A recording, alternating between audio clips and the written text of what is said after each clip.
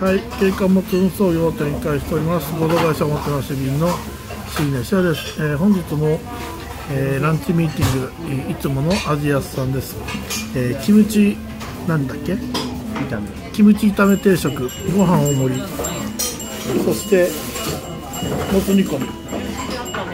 です。はいよろしくお願いします。